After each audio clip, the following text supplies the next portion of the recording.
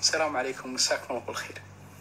روى الإمام أحمد في مسنده والترمذي في سننه بألفاظ متقاربة آه، عن ابن عمر قال جاء رجل إلى النبي صلى الله عليه وسلم فقال يا رسول الله إني أذنبت ذنبا عظيما فهل لي من توبة؟ فسأله النبي صلى الله عليه وسلم قال ألك والدان؟ قال لا وفي لفظ الترمذي قال ألك أم؟ قال لا فقال فلك خالة؟ قال نعم فقال صلى الله عليه وسلم فبرها إذا دل هذا الحديث أن أعمال البر والخير والإحسان تكفر الذنوب والسيئات والأخطاء التي نجترحها. وهذا أمر دلت عليه أدلة كثيرة غير الدليل الذي ذكرنا. من ذلك قوله سبحانه وتعالى وأقم الصلاة طرفي النهار وزلفا من الليل إن الحسنات يذهبن السيئات ذلك ذكرى للذاكرين.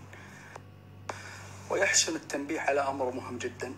الإنسان أحيانا يكون عنده ذنب يعتاده دائما يجتهد في تركه ويبذل الأسباب ولكنه يعود إلى نفس هذا الذنب وهذا وهذه السيئة يعتادها بين الفينة والأخرى. إذا أعجزك ترك هذا الذنب. طبعا نحن مطالبون شرعا ببذل الأسباب التي من شأنها نستدفع كل طريق مؤدي إلى هذا الذنب الذي نعتاده. ولكن إذا أعيانا تركه فلا أقل من أن نغمره ببحور الحسنات.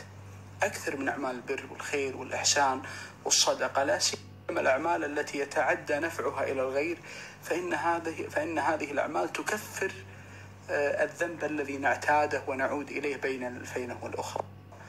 ومنها الحديث الذي ذكرنا وكذا ما جاء عند الترمذي قوله صلى الله عليه وسلم والصدقة تطفئ الخطيئة كما يطفئ الماء النار. ويخبرنا النبي صلى الله عليه وسلم عن رجل يأتي يوم القيامة وقد أذنب عنده خطايا ومعاصي ولكنه كان يسلف الناس يداينهم. فإذا رأى المعسر تجاوز عنه تيسر فتجاوز الله عنه وأدخله الجنة. قال الله له نحن أحق بالتجاوز منك. فاجتهدوا في أعمال بر